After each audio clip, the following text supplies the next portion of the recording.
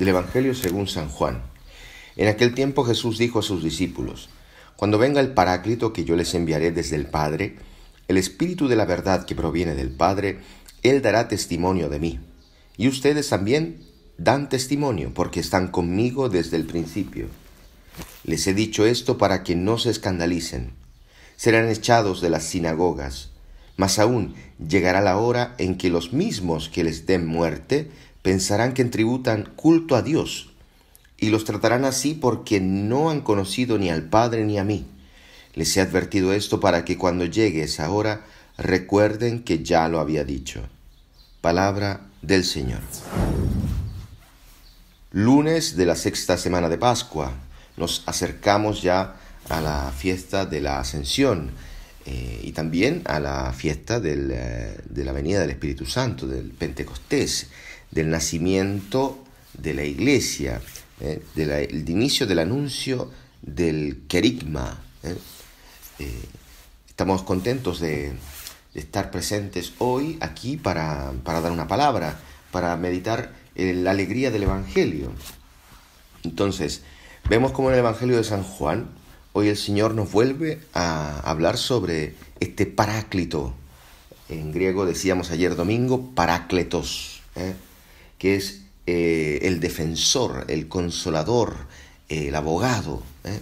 como decíamos ayer, no este abogado que se mete al puesto tuyo a defender, sino que te dice todo lo que tú tienes que decir en tu defensa.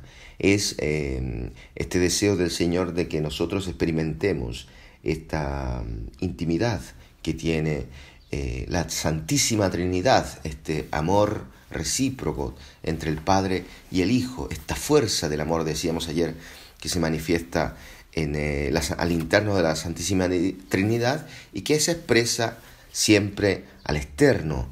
La Santísima Trinidad siempre es un constante eh, salir de sí mismo, de sí misma para, para manifestar la esencia de Dios, el amor de Dios. No tengamos miedo de, pedir a la Santísima Trinidad una ayuda, de pedir al Padre, al Hijo, al Espíritu Santo que nos manden eh, el amor, la paz, la alegría mm, que hemos hablado ya la semana pasada, porque tenemos miedo a veces de pedirle cosas a Dios.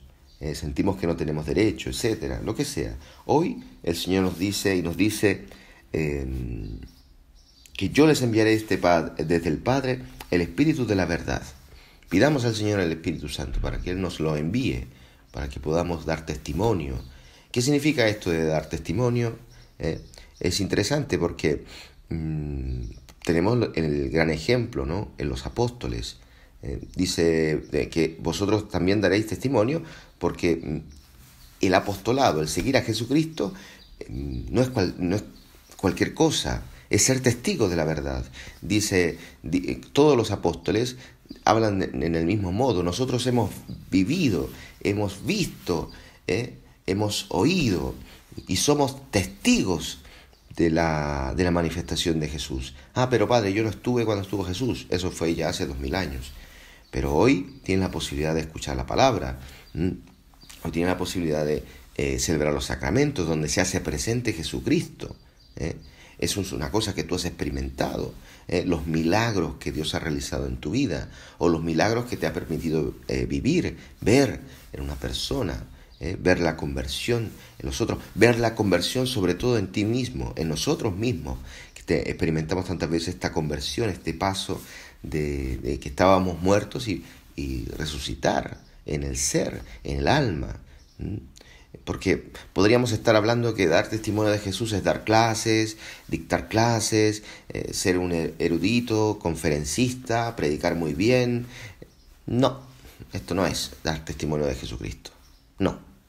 Dar testimonio de Jesucristo es que en tu vida, en tu vida puedas dar testimonio, puedas decir verdaderamente Dios existe.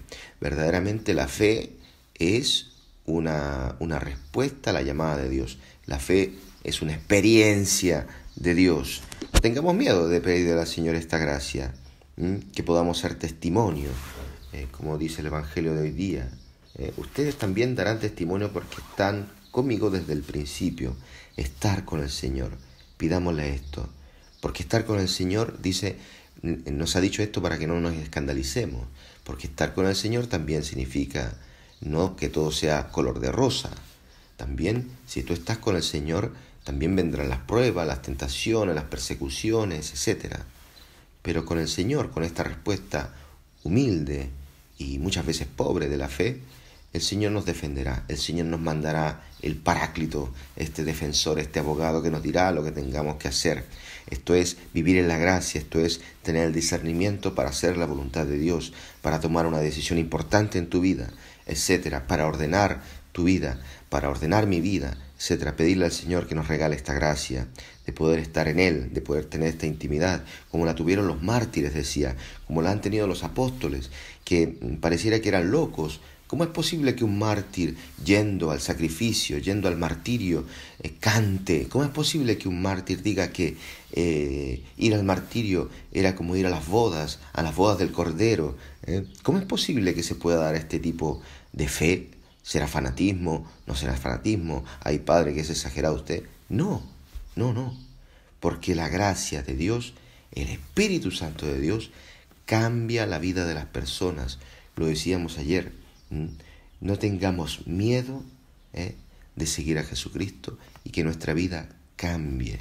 Esto se lo pedimos al Señor todos los días. Pero hoy sí yo estoy bien, no tengo nada que cambiar. No, el Espíritu, el amor de Dios es siempre una novedad. Cristo nos dirá siempre, os doy un mandamiento nuevo. No pensemos que ya lo sabemos todo. No pensemos que ya lo sabemos todos. Todo. Ya siempre habrá algo en lo cual tengamos que dar gracias a Dios y reconocer su acción en nuestra vida. Por eso la fe es siempre una apertura, una disponibilidad, ¿no? Eh, el Espíritu Santo enseña, decía ayer el Evangelio. Por eso es importante que tengamos esta apertura de la fe. Eh, y esta apertura también a la voluntad de Dios. No significa que cuando están mal las cosas Dios no está contigo. No, todo lo contrario. La manifestación del amor, lo hemos dicho, la manifestación del amor de Dios es Cristo crucificado. Esto es el amor, esto es la justicia de Dios, así nos ha amado Dios y muchas veces el sufrimiento es completar lo que falta a la pasión de Cristo. No tengamos miedo de esto, pidámosle al Señor que nos regale hoy poder recibir el Espíritu Santo, preparar nuestra vida, pedirle al Señor el Espíritu Santo. ¿eh? A lo mejor tienes un problema, a lo mejor mm, ya mucho tiempo llevas en una situación difícil. Mm, pídele al Señor el Espíritu Santo todos los días para que puedas experimentar, no para que se haga un milagro simplemente, sino que para que podamos pasar, saltar muchas veces de la depresión, del desánimo, a la fe, a la fe. Eh, poner toda nuestra confianza en el Señor. Que el Señor les bendiga en el nombre del Padre, del Hijo y del Espíritu Santo. Amén.